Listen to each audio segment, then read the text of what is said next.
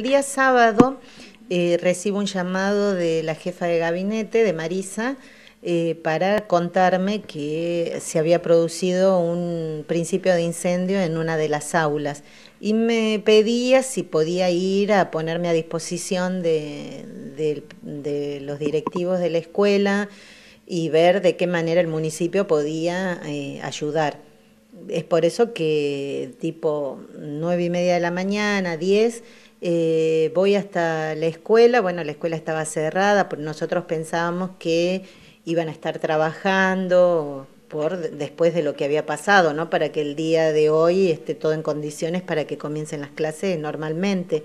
Bueno, la escuela estaba cerrada, pero eh, al verme ahí en, en la escuela, eh, se acercaron unos padres y bueno, y me comentaron lo que había pasado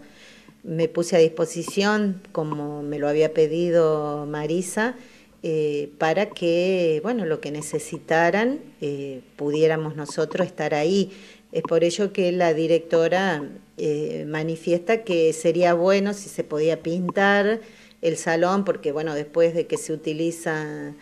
algún elemento para apagarlo, apagar el fuego, queda todo sucio, todas las paredes manchadas. Bueno, nos pidieron pintura y las cortinas que se habían quemado. Eh, le transmito eso a Marisa y bueno, y automáticamente eh, pone a disposición eh, al equipo de cooperativas que está a cargo de Eugenia López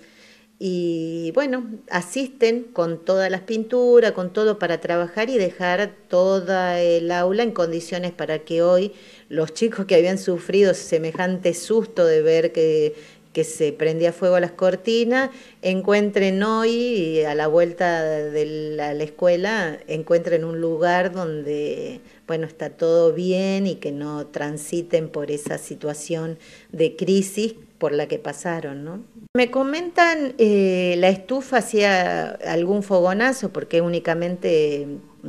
pienso yo que puede suceder eso, porque si la estufa funcionara bien, eh, no tendría que haber mm, tocado con la cortina, pero aparentemente hizo un fogonazo y se prendió fuego la cortina y bueno, y eso se empezó a arder y,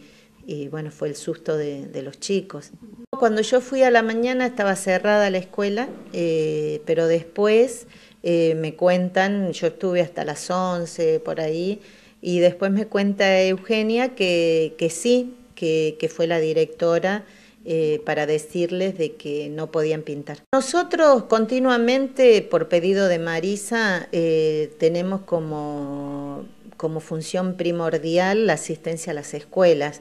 En algunos otros momentos, no eh, en, en situaciones tan críticas. Bueno, por ejemplo, cuando se incendió la escuela de Santa Rosa, y, bueno, para que vuelvan los chicos a clase después de ese 16 eh, de julio, eh, perdón, 9 de julio, eh, se pintó toda la escuela, se hicieron algunos arreglos, como para que no sea el shock de volver a una escuela incendiada.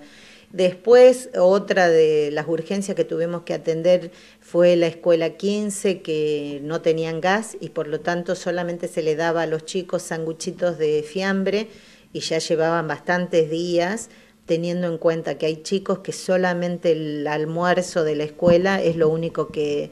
tienen en su panza, ¿no? Entonces, por decisión del gobierno municipal, se contrató un servicio de viandas y todos los días se les llevaba comida caliente eh, para todos los chicos de la escuela. Y así siempre estamos eh, tapando agujeros que quedan, destaparle los pozos porque los chicos no pueden estar entre medio de, todas esas aguas servidas,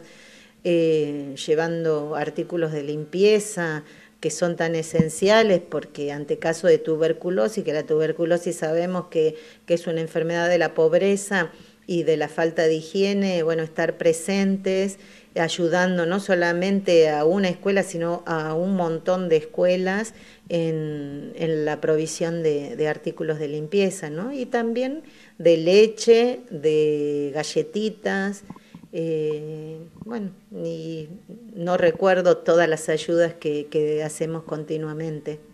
hace un año atrás estaba desde otra situación, en otro rol,